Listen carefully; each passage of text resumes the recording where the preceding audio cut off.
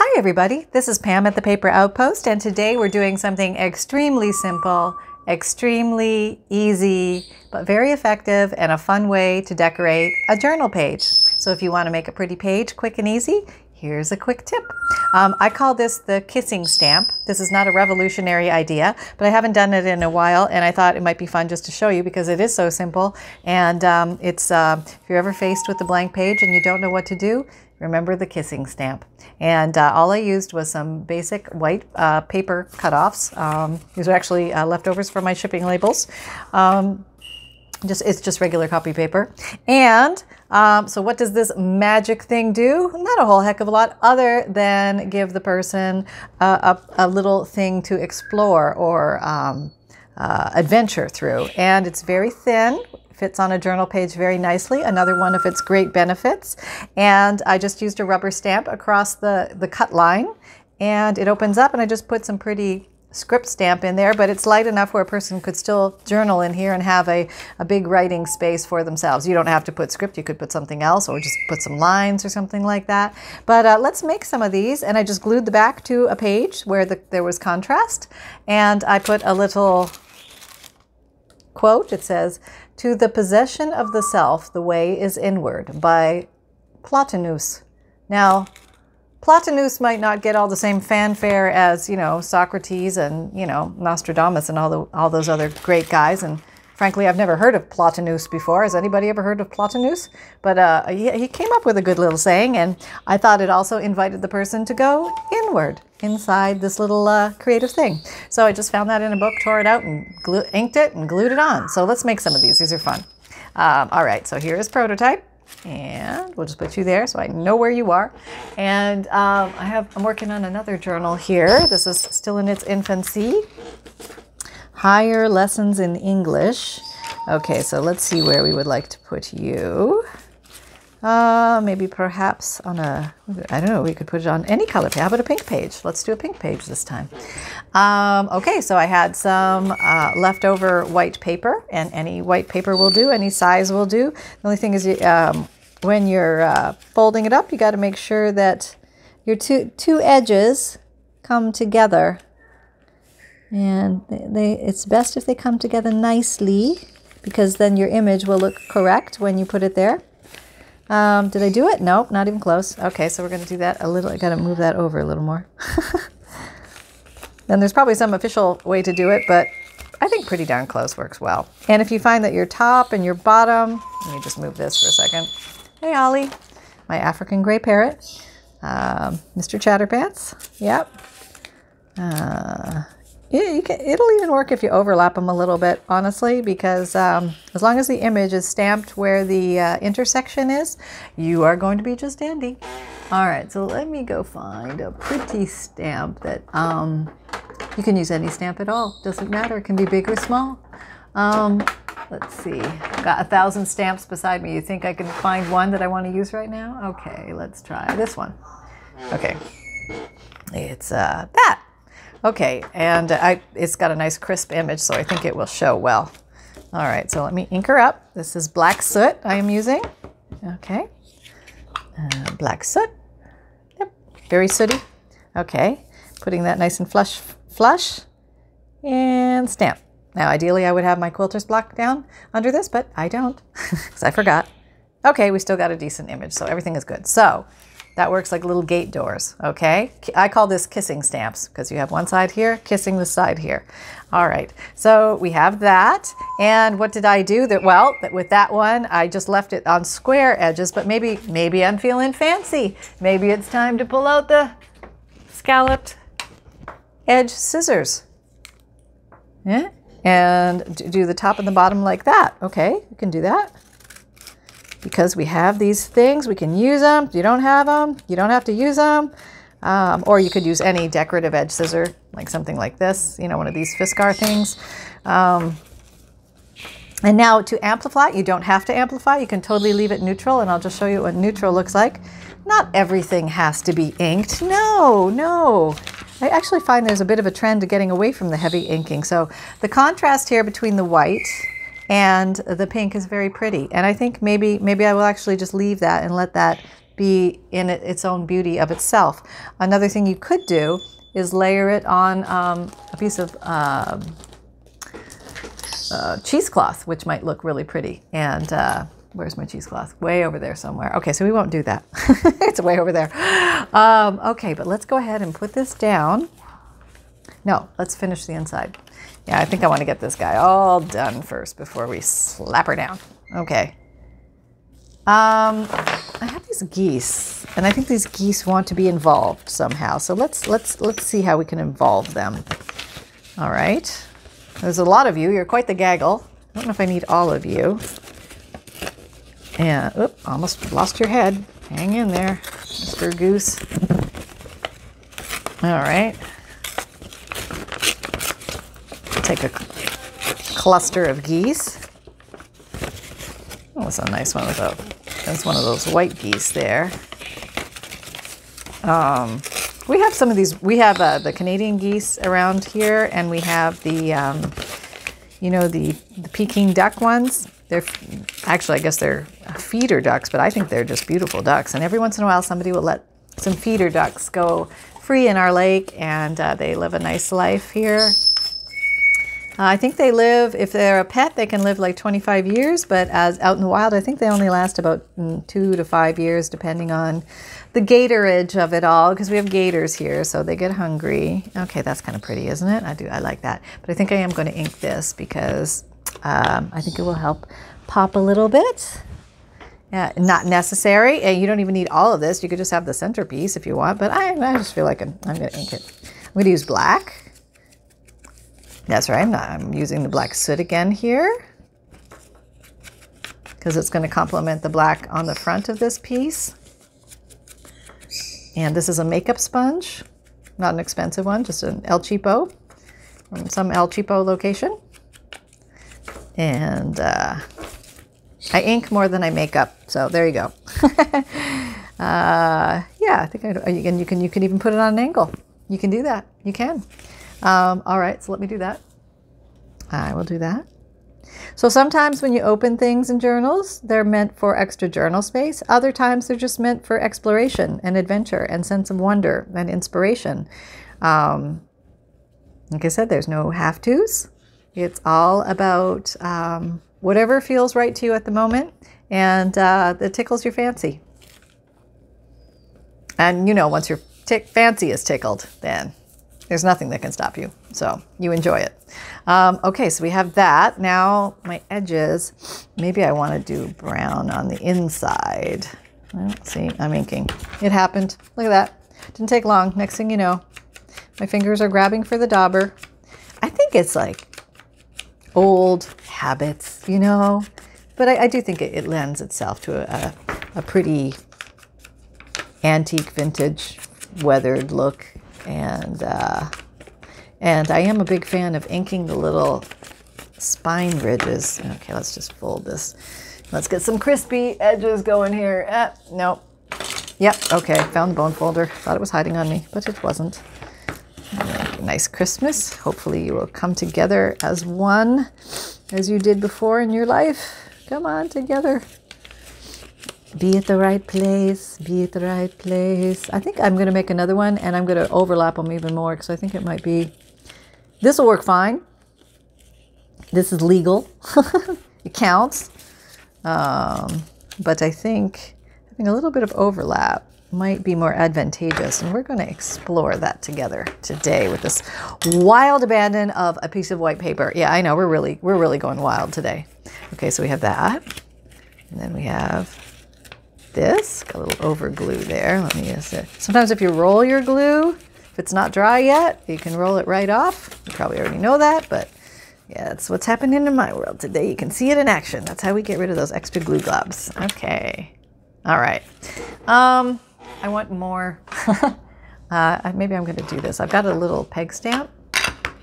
So we're just making a pretty page today. This is like playtime um, in a journal having fun, goofing off. A lot of you said you wanted to see some more pretty pages, so I just thought I'd maybe show you some examples of uh, different things you can do on pages. Um, sometimes folks get a little overwhelmed with a page because they feel like it has to be a grand, piece of art on every page, and it can, and there's nothing wrong with that. If that brings your soul happiness, go for it. But if you just want to uh, put a little something, you know, that's perfectly fine too. Because uh, your brain, our brains will fill in the empties as I fill in every every, every empty. Um, okay, so this is just a little explorative. And uh, you need to move over more. Don't be messing with me, mister. All right, here we go. That better? No, you go over there. There we go. That's the fold. Okay. All right. Okay, so there. Then we have the piece. The piece is here. Okay, I hope I did that all in screen. Sorry, sometimes I get carried away and I don't see where the camera's looking. Okay, back you up a little bit. All right, here's our pink page. We put you down here. And that is so thin, it's not going to cause any bulk in your journal. It's easy to operate for anybody to come along and get a nice little surprise on the inside. Probably needs a word. I feel like it needs a word. Um, a big word. Okay, we'll, we'll do you. We'll put, we'll put the word journey inside. Because this is a journey going through a junk journal. And it's a journey for the maker, too. Um, there we go. I mean, you could just keep going. And all these things don't add a lot of bulk, so it's, it's kind of fun. All right, probably should let that totally dry. Dry. Um, and then we're going to glue this baby down. So let me show you how I glue it down. I'm going to use Fabrifix in my Sugar Belle icing piping bottle, but you can also use a glue stick or a white glue.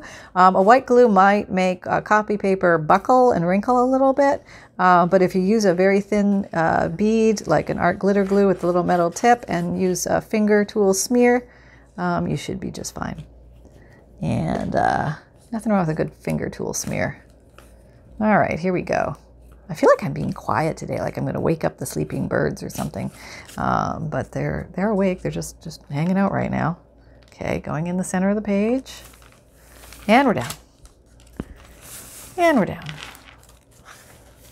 Okay, now you could put a little latch close if you want, or just leave it as is because often these, these gate style things will flatten up quite a bit once the journal has been closed for a while. Let's say it's been closed for shipping or something like that.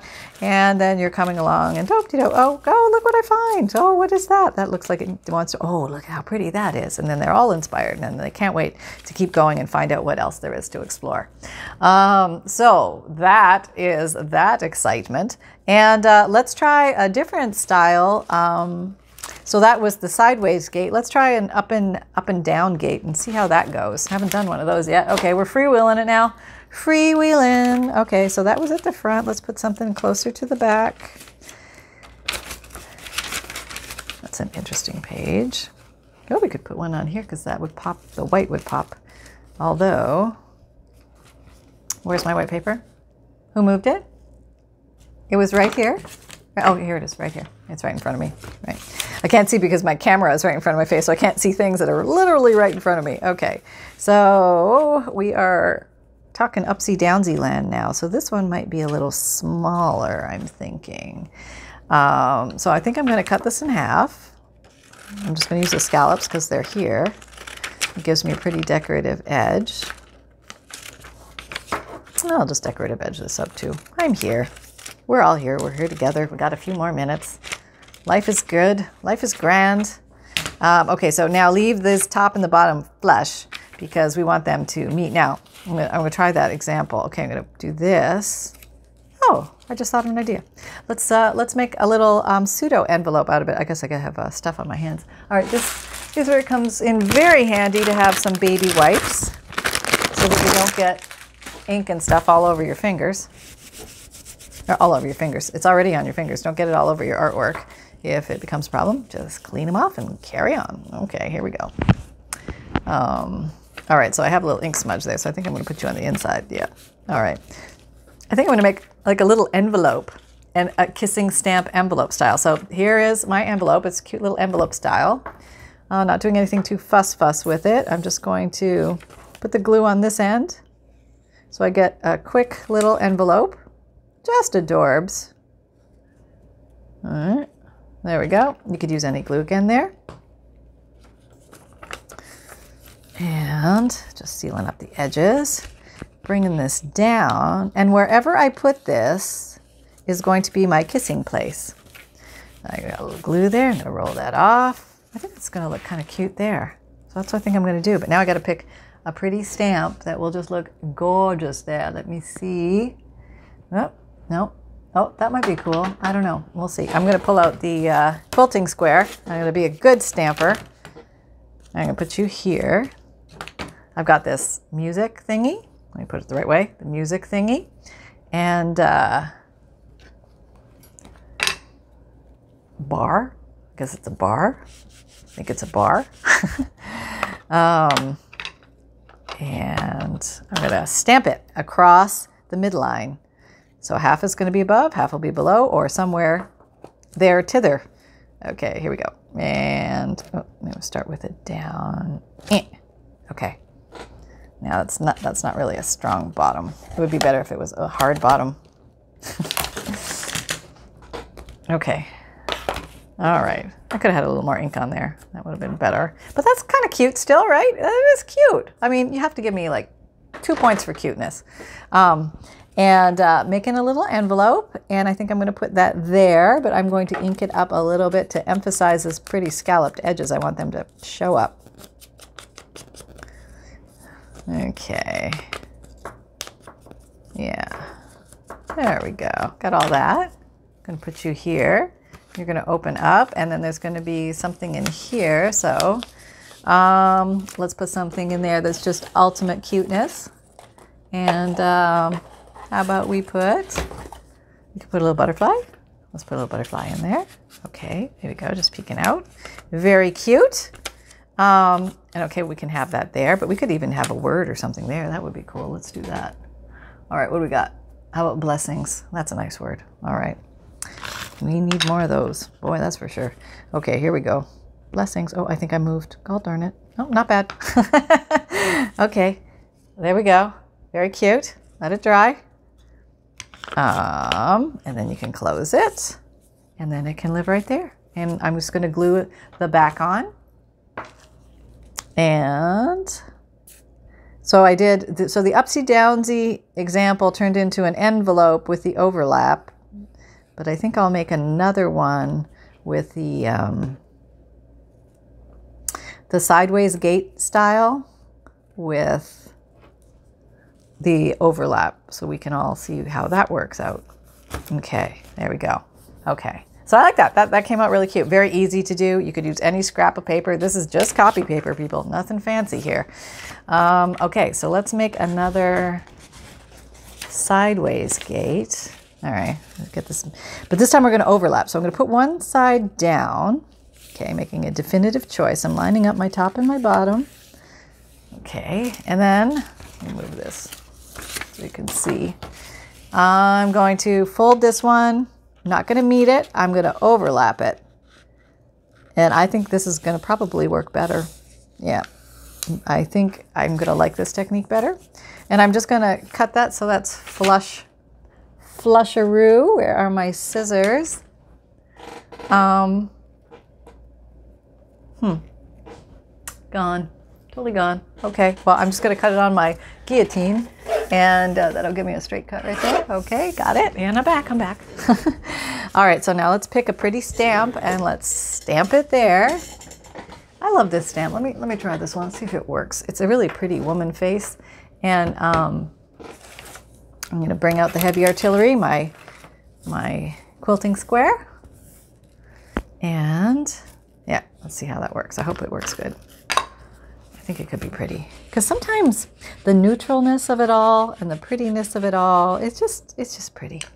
Okay, let's see. See how we do. All right, hold your breath, everybody. Here we go. And stamp. I don't know if I waited long enough. Is it transferred? I hope it's good. And, oh, not bad. I mean, I, I could probably use more ink, but that's kind of pretty, huh? Yeah, I think that's very pretty. Where did the rest of her eyebrow go? I don't see it. It is there, but it's not here. I don't know why, and I can't go back in. So that's what we got. We're going with that. So maybe maybe some sponge under that might work in that department. Maybe there, there's something about that type of stamp. Um, okay, so this is the overlap. technique. Okay, very pretty. And now, here's another thing you could use these for. You don't stick it in. That's right. You don't stick it in, but you use it as an extra. Well, you do put it in your journal, but you use it as an extra, maybe piece of writing paper for somebody. Wouldn't that be pretty? Uh, clipped in there, something like that. Um, what else we got? I, or you could just uh, simply clip it to the top of a page. And extra writing space granted to the journal owner. Um, there you go. How pretty is that? And uh, you could totally leave it black and white, or you could add a little color. You could put a little pink in her lips if you wanted to. Okay, we'll try. Um, if it comes out horrible, it's removable. So there you go. There's it's very low risk. I just have to find the pink dauber. Here's the brown dauber. There's the pink dauber. Probably using something smaller than this would be quite wise. Not happening today. Okay, just a little. Okay, that's all I'm going to do because I think it's too wide. But uh, let me show you. So just a little pink hue on her lips, very cute. Oh, you could do eyeshadow and blush and everything. You know, you know you can. And um, so there we go. Maybe I want to put a word. Maybe I do. And we'll have a word cross the bar as well at um, the gate door. Well, that's kind of cool too. Nobody would be expecting that. No. All right. Or you could do something like this. That's kind of cool. All right, let's try that. That's weird. Um, eh, is that too weird? Maybe that's too weird. Let's uh, go back to the word idea. Where's a good word? How about summer? It's a nice word. Okay. Maybe her name is Summer. Okay, and we're stamping across the Great Divide. There. Oh, that's very pretty. I like that a lot. Very nice, right? And I think I'm going to just use that for regular writing paper. Um, just another place for somebody to write a few words to themselves. If you want to go get oh, super fancy. Well, this isn't really super fancy, but it's something. Oh, my goodness. What time is it? Oh, yeah, we're fine. Um, you can round the edges with the little corner rounder. This is the good one for thin pieces of paper. Okay, there, and now you have that. Yeah. So, so much, so much fun that you can have with just a piece of plain white copy paper. You don't have to do, you know, acts of God to it. It can just be pretty on its own and um, just be a pretty thing to oogle at. There. So just a nice little add-on for your book. So I hope you enjoyed these fun little ideas and um, I had fun hanging out with you guys. Thanks so much. And I'll be coming at you with all sorts of uh, new ideas coming. Um, got a lot of videos planned, and uh, lots of uh, lots of things are being uh, created and made by me in the craft room uh, to go up on the Etsy store. So keep taking a peek in there. Um, the Paper Outpost. Um, all the links are down below for everything. Um, if you're looking for my Amazon store for favorite tools and supplies, or my Etsy shop for vintage digital kits, or for surprise journal sales, or gift set sales, or other sales. Um, and my monthly emailed newsletter link is down below the video in the drop down description box for free um, journal tips, a free digital image, a checklist of supplies, a note from the bookmaker. Uh, my videos do come out every Monday, Wednesday, Friday, and Saturday at 7 a.m. Eastern Time. And my podcasts are audio and they're free, and you can uh, listen to them on the go while you're in the car, walking the dog, going grocery shopping. They're all junk journal related topics, and it's all new material. Uh, they're Tuesdays and Thursdays, they come out, and the link is again down below. Playlists are located at the bot uh, down below and at the end of the videos. And um, the Facebook group, we're having fun over there, making uh, junk journal stuff, uh, all sorts of ideas. Very inspirational place. Come on over if you haven't checked it out. Just a bushelfuls of ideas. People are amazing, and we do weekly and monthly challenges just for fun to have a great time and inspire the heck out of each other. And um, folks are very friendly. And you can also find me on Instagram, Pinterest, Etsy, Twitter, LinkedIn, Facebook. And remember that fun can be simple and create with reckless abandon, everybody. And I can't wait to see you next time. Have fun with just a plain piece of copy paper today. Bye bye.